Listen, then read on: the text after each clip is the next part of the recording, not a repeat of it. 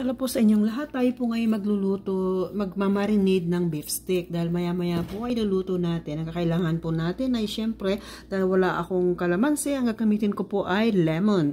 At syempre, ang beef, beef steak po ay kailangan ng maraming sibuyas. Imamarinade po natin ito ng maraming paminta. Kailangan marami, marami akong ilalagay na paminta. Tapos, ito na nga po yung lemon. Lagyan natin ng lemon. Dahil mar medyo marami po yung ating beef, kaya kailangan natin, tatlong lemon po inilagay ko dyan. Tapos, ito nga pong soy sauce. Damihan natin ng soy sauce. Imamarinate po natin yan ng isang oras or mahigit na isang oras bago natin iluto. Yan. Kasi marami po tong beef, marami ang bili ko. Kaya kailangan ganyan marami rin sauce para lumasa. Bababad natin yan.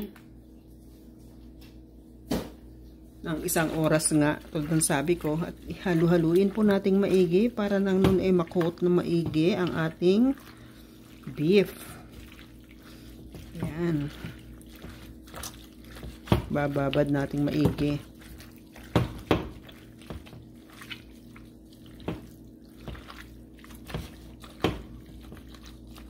Napadami ang bili ko. Hiniwa-hiwa ko po yung beef na yan ng super nipis. Masyadong manipis po ang pagkakahiwa ko niyan kasi dapat talaga manipis.